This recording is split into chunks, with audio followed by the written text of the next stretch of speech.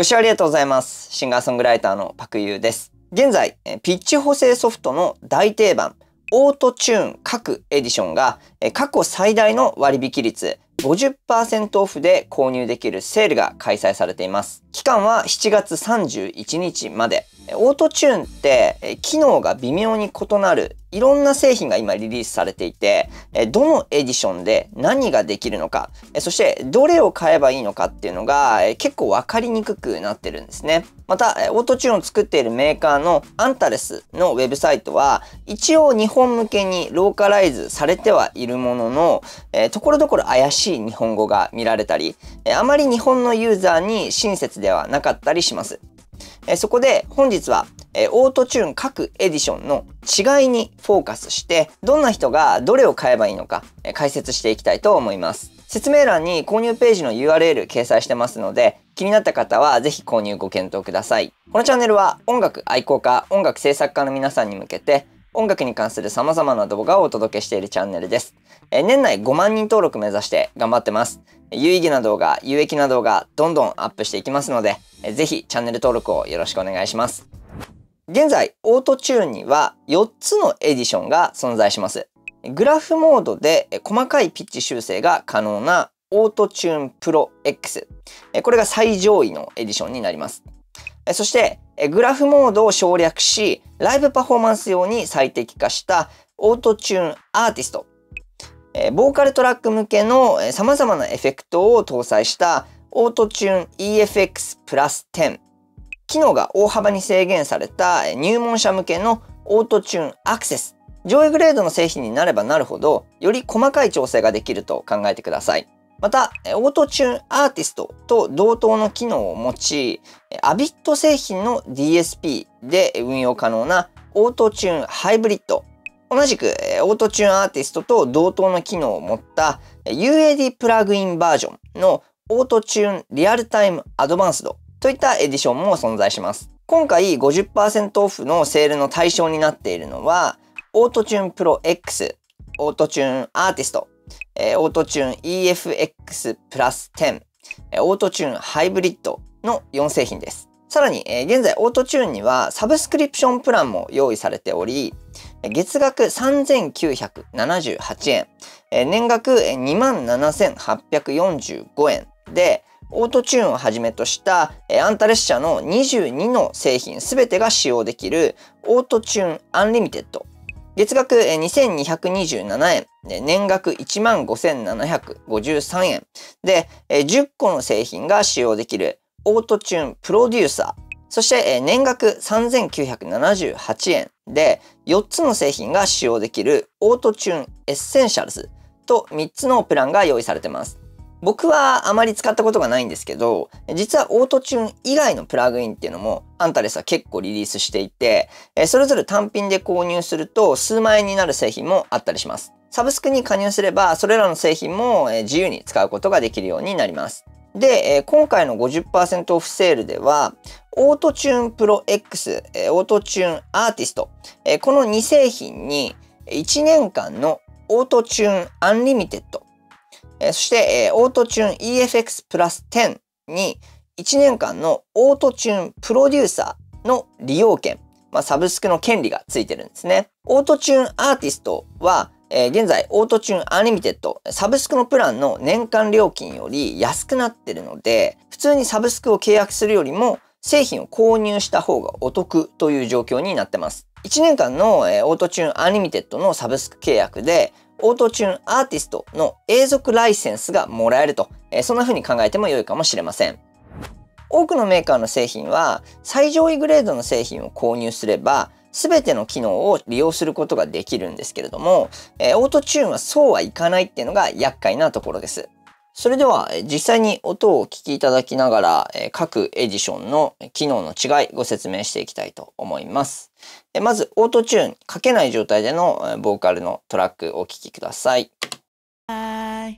ダウンロードインストールオーソライツで足踏みわからない調べよう君はパクユを知ってるはい、こんな感じのボーカルトラックになってます。まずは大幅に機能が制限されているオートチューンアクセス見ていきます。ちょっと大きめに表示しますね。オートチューンアクセスに関しては、リチューンスピード、補正のスピードをスロー、ミディアム、ファストの3段階からしか選ぶことができません。また、ヒューマナイズ、えまあ、人間っぽく聞かせる、えそういった機能も、えオフ、ミニマム、マックスと3段階から選ぶ形になっています。えそして、えキーの指定とスケールの指定。スケールはメジャー、マイナー、クロマチックのみです。で、えこのナチュラルとエクストリームっていうのは、まあ、プリセットだと思ってください。ナチュラルにすると、リチューンスピードは一番遅くなって、ヒューマナイズはマックスになると。そしてエクストリームにすると、逆にリチューンスピードはえーファスト、速くなって、ヒューマナイズはオフになると。で、えーこの鍵盤、クリックしていくと、音を消していくこともできますが、えーオクターブでえー全部連動している形になります。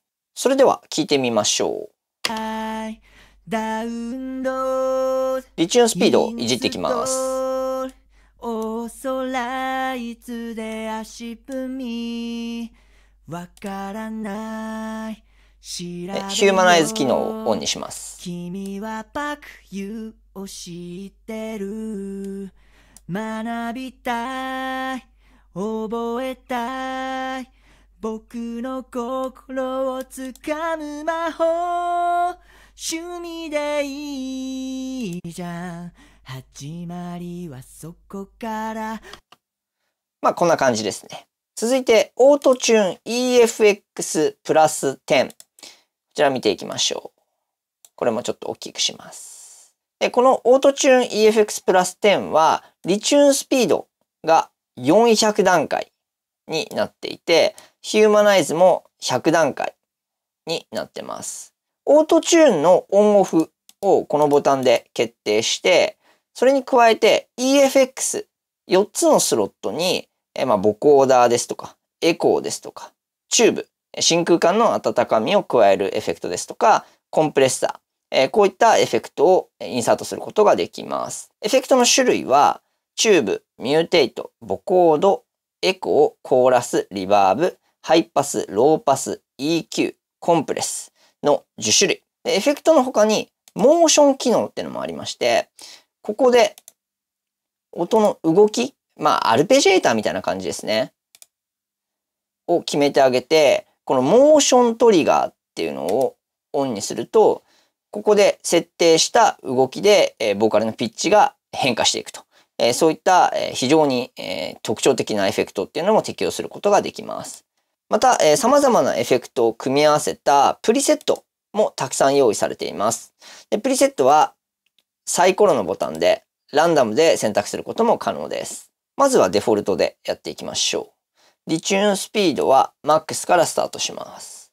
では再生します。はいダウンロードインストールお空いつで足踏みわからない程よいところを探りながら調整することができるのがいいですね。君はパクユを知ってる学びたい。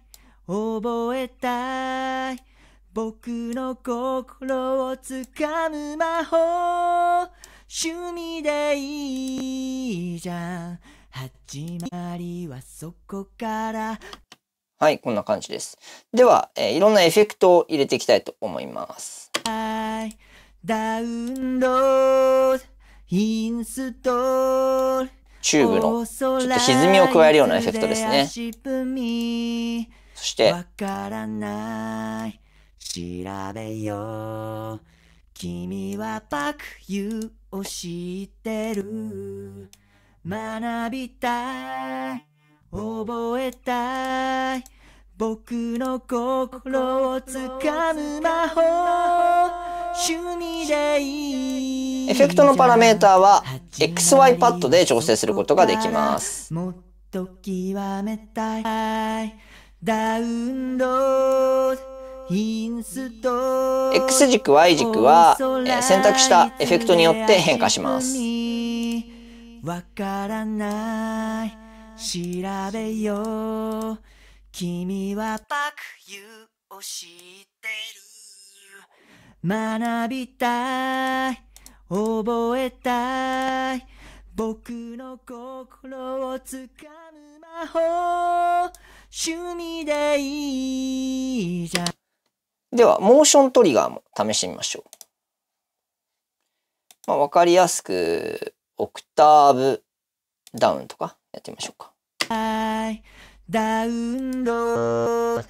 インスト。ールオーソライツで足踏みなかなかえげつないエフェクトです。あとは、このデュエットっていう機能も結構面白いです。はいダウンロードインストール。オーソライツで足踏みわからない。調べよう。君はバク簡単に、えーダブリングをしたような、えーそういったエフェクトが適用できます。フォルマントの調整もここのピッチスロートでで簡単にできます。君はバクユを知ってる学びたい覚えたい僕の心をつかむ魔法趣味でいいじゃん始まりはそこからまあ、ざっとこんな感じです。では続いて、オートチューンアーティスト。で、アーティストに関しては、えっ、と、さっきみたいに自由にプラグインの表示のサイズを変えることはできないみたいです。えーリチューンスピードは400段階。で、えーヒューマナイズも100段階。ここは変わりませんが、そこに加えて、フレックス、チューンというパラメータと、ナチュラルビブラートというパラメータ。さらに鍵盤はフルに使用することができて、で、スケールもこれだけ種類が増えてます。キーは F で、メジャースケールで、やっていきましょう。はいダウンロードフレックスはこんな感じ。お空いつで足踏みわからないちょっとピッチの補正が柔らかくなる感じですかね。君はバクユを知ってる学びたいで、えークラシックモードとフォルマントモードっていうのを選べて、クラシックモードにすると、このフレックスチューンっていうのは、えー使えなくなります。で、フォルマントモードにすると、このスロートのパラメータで、フォルマントを調整できます。さらに、えーアドバンスドビューという表示モードにすると、えービブラートをより細かく調整することができたり、あとはスケールに含まれる音の中の、えー特定の音だけをバイパスしたり、えー取り除いたり、えーそういった、えー設定もすることができます。で、えっと、僕 UAD のオートチューンも持ってるんですけど、先ほども説明したように、 Auto-Tune Artist と基本的には変わらないです。 throat の調整だけがない感じですかね。ここにあったフォルマントのボタンがないので、 throat の調整ができないって感じですね。そして最後、えー最上位グレードの Auto-Tune Pro 見ていきます。ちょっと見た目が違いますが、えーこの、えオートモードに関しては、 Auto-Tune Artist と基本的には変わらないです。Retune Speed、Flex-Tune、Natural Vibrato、Humanize。4つのパラメータを調整する感じになってて、で、 Advanced、ここクリックすると、さっきの Advanced View で見れたような、えパラメータが出てきます。フォルマントの調整っていうのもありますね、ちゃんと。まあ、 Auto-Tune Artist の UI を、え刷新したのが Auto-Tune Pro っていう感じですかね。で、えー Auto-Tune Pro だけに搭載されているのが、こちらのグラフモードです。すでに、オーディオを読み込んでいるんですけれども、こんな感じで、まあ、よく見るピッチ修正の、えーこのピッチと、あと音の長さっていうのが表示されて、で、これを直接動かすことで、ピッチを変えたりとか、あとは線を書いて、そこにピッチを持ってったりとか。より細かい。こんな感じで。手書きで、えー音の波を書いたりとか。ちょっと聞いてみましょうか。はいダウンロードすごいですね。もう自由に書けます。で、このリチューンスピードを調整してあげることで、書いた線に、えー、どれぐらいのスピードで合わせていくかっていうのを決めることができます。もう何でもできちゃいますね。特にオートチューン EFX プラス10はお手軽にクリエイティブなボーカルトラックが作れて結構いいんですよね。なので僕のおすすめは Auto-Tune Artist を今回の50%オフセールを利用して購入してでサブスクリプションの権利も同時にゲットし1年間 Auto-Tune Unlimited のサブスクリプションでいろんな製品を使ってみてどうしても Artist 以外にも欲しいものが出てきたら、1年後に購入やサブスクの延長を再検討するというパターン。